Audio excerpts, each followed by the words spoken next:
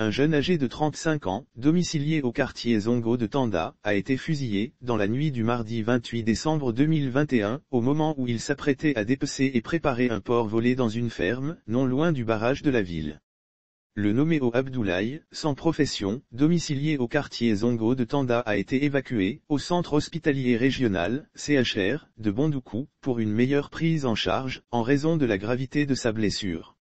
Il doit suffisamment prier pour éviter l'amputation. Il a été découvert tôt dans la matinée du mercredi 29 décembre 2021, au quartier Muvec de Tanda, baignant dans une mare de sang, après avoir reçu la veille, une décharge de chevrotine de calibre 12 dans la jambe gauche, au niveau du mollet. Les faits Les faits se sont produits dans la nuit du mardi 28 décembre 2021.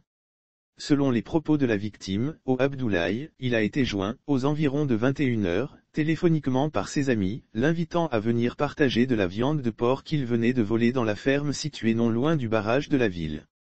Lire sur le même sujet Blolequin, un homme fusille sa femme et se tue après sans perdre de temps, il se joint au groupe et abatte l'animal. Sur place, il décide de préparer une partie et réserver certainement l'autre pour la fête de janvier qui pointe à l'horizon. L'ambiance est bonne, aux environs de 23 heures, au Abdoulaye et ses amis s'affairent à dépecer, comme prévu, le port est passé aux choses sérieuses. Ça sent le roussi mais l'atmosphère va changer, quand, subitement, selon la victime, les propriétaires de la ferme, au nombre de deux, débarquent sur les lieux. L'un d'eux est armé d'un fusil de chasse de type calibre 12. Ça sent le roussi et c'est la débandade. Le porteur du fusil ouvre alors le feu dans la direction de Haut Abdoulaye et ses amis. Atteint à la jambe gauche, il s'écroule quelque part dans l'obscurité. Il réussit à se traîner jusqu'au quartier Muvep, dans un instinct de survie, il réussit à se traîner jusqu'au quartier Muvep. Le lendemain mercredi 29 décembre 2021, les forces de l'ordre reçoivent un appel anonyme faisant état d'un homme grièvement blessé par balle et couché dans une mare de sang. Immédiatement, les forces de l'ordre se sont rendues sur les lieux.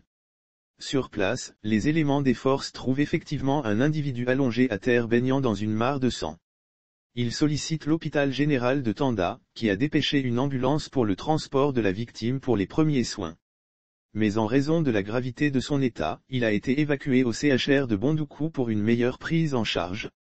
Le procureur a été avisé et une enquête est ouverte. Cette histoire rappelle celle d'un gang de voleurs de cochons et d'autres animaux domestiques démantelés à Thiébissou, précisément dans le village de Conancro.